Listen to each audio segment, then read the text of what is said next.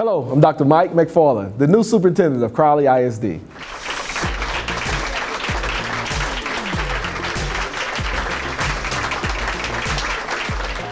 was like this big.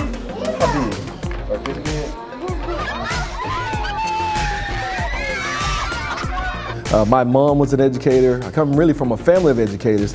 And as I look back through my life, you know, everybody who was really important to me and who really helped me to see that I could become more than what I currently was at that time, they were educators. And so I understood the power that education has to change a person's life. And so I wanted to be able to share that and be that type of person to someone else. So that's why I chose to become an educator.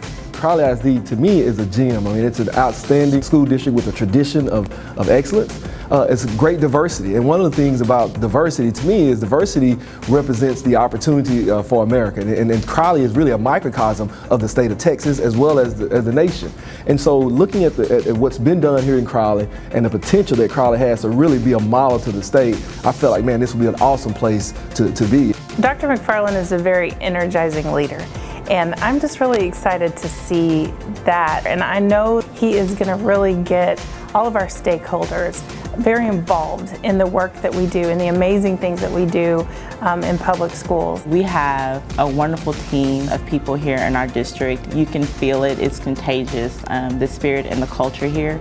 And I just think that with Dr. McFarland, we will have a leader who is going to leverage all the great things that we have within our district and that it's going to improve our community. The search that we did was nationwide. It was extensive and the competition was fierce for this position. We interviewed some amazing candidates and reviewed some amazing candidates and I tell you what, we are bringing the best to Crowley ISD and there is no doubt about it, this is the guy.